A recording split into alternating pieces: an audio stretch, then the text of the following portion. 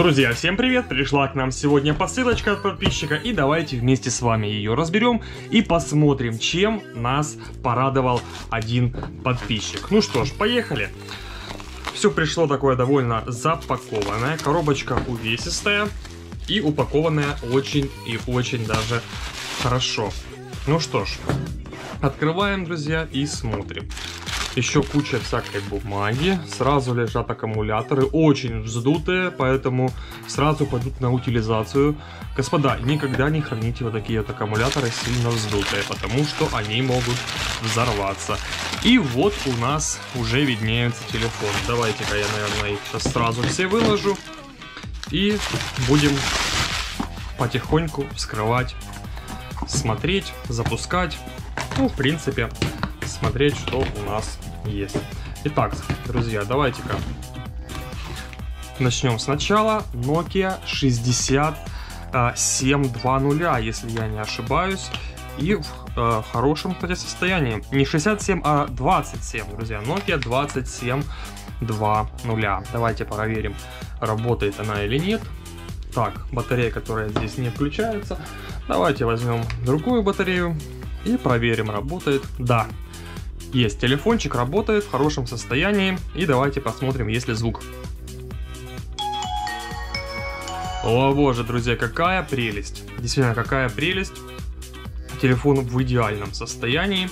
Внешне, конечно, экран немножечко поцарапанный, но то, как он отрабатывает на кнопке, это, это хороший и очень хороший аппарат. Вот, более, конечно, современный, но ничего, для коллекции будет то, что надо. Поехали дальше. Проверим Nokia 6080. 6030, друзья, прошу прощения. Тоже внешне в очень хорошем состоянии. И давайте попробуем ее запустить. Насколько я помню, да, кнопка запуска сверху. И да, друзья, он запускается. Запускается и работает. Как вы видите, вставьте сим-карту. Спасибо большое подписчику, который прислал эти телефоны. Окей, едем дальше. Nokia 6320. Вечная проблема Nokia 6320 это вот эта вот алюминиевая рамка, которая вечно отпадает. Сколько с ней было проблем. И, кстати, здесь у нас небольшой подарок, друзья. Вот такая вот сим-карта Kyivstar, которая еще старого образца, полноценная. Это здорово. Помимо телефонов я еще и коллекционирую вот такие вот карточки. Это интересно. Давайте запустим и посмотрим, работает или нет. Да, конечно, все работает и также проверяем на звук. Шикарно. Звук шикарный. Единственное, что если удастся как-то справиться вот с этой вот верхней накладкой, то будет шикарно. Телефон работает, ну, претензий нет. Отлично.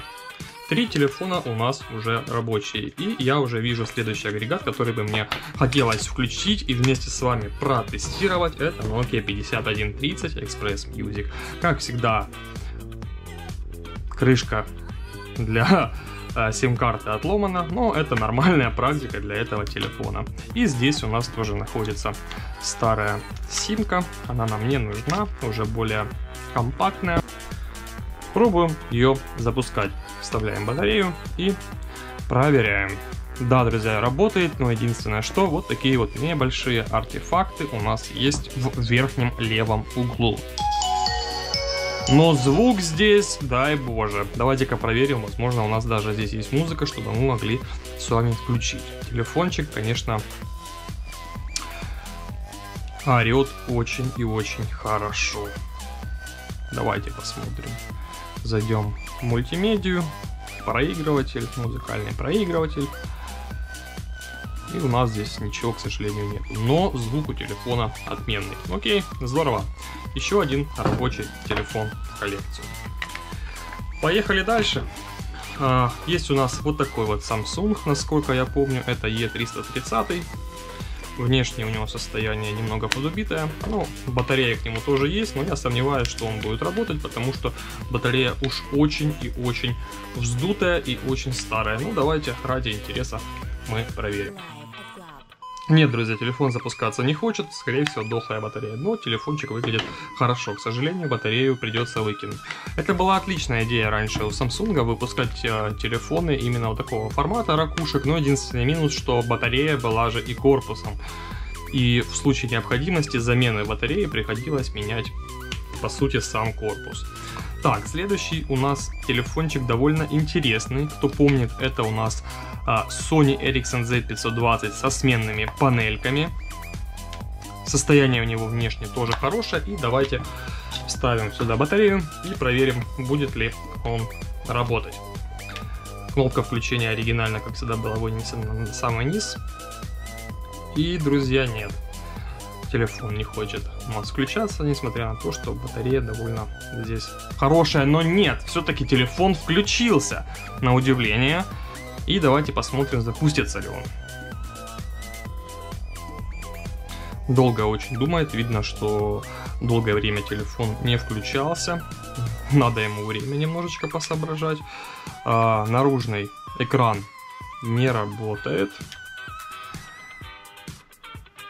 Так, здесь явно какая-то проблема. Скорее всего, здесь у нас проблема со шлейфом.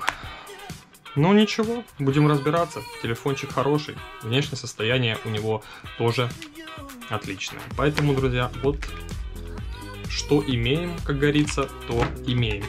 Итого у нас 4 рабочих, 2 нерабочих и 2 у нас еще есть на показ. Вот такие вот две звонилки металлический корпус, но это, друзья, уже более современные, такие китайские телефоны. Поэтому давайте-ка будем открывать, смотреть вообще, что у нас здесь и сможем ли мы это запустить. А, батарея здесь, как всегда, стоит стандартная от Nokia, поэтому мы берем свою батарею от Nokia и будем сейчас пробовать включать. Но я вам скажу, что внешне выглядит телефон очень и очень прилично. Да, телефон работает, но мы видим, что у нас сверху разбитый дисплей. Но это не проблема, потому что часть дисплея работает. В принципе, пользоваться телефоном можно. Окей. Есть. Выглядит, я вам скажу, что очень интересно. Видно, что в свое время косили, да, под Nokia 6320, металлическая окантовка, все это. А, так, 5 работает. И вот этот вот интересный аппарат, я его честно говоря, никогда не видел, но он вот, вот так вот он выглядит. Здесь какой-то ковбой нарисован. Вот такая вот э, камера-колонка, что-то непонятное. Микросимка на две сим-карты. Ну, давайте включим, посмотрим. Интересный очень аппарат. Такого, честно говоря, никогда не видел. Э, так, господи, где у нас здесь хотя бы кнопка включения? Вот так вот нестандартно она с этой стороны у нас расположена. И самое интересное, что включение-выключение для каждой а, сим-карты здесь свое. То есть мы можем принимать двумя кнопками и двумя кнопками отбивать. Очень странное решение. Но телефон, кстати, непонятно как... Вот. Ох, ё-моё. Слушайте, он ужасно громкий, он очень громкий телефон. А, ну, не зря здесь все-таки написано Music, но я такого еще никогда не видел. Разрешение экрана интересное. И на заставке у нас стоит Джеймс Бонд. Давайте попробуем разблокировать. Так, разблокировать. Есть. Ну, хорошо, в принципе, выглядит. Знаете, мне очень интересно посмотреть, как здесь работает камера. А, камера, кстати, работает здесь неплохо. Очень даже неплохо для такого телефона. Ну и, наверное, давайте то, что я и хотел сейчас посмотреть, это аудиоплеер и музыка. Музыки у нас здесь нету, но телефончик очень и очень громкий. Забавно, забавно. Никогда не видел, очень интересно. Друзья, вот такие вот у нас сегодня были находки. Спасибо большое, что смотрели. Всего самого хорошего. Всем пока. Пока.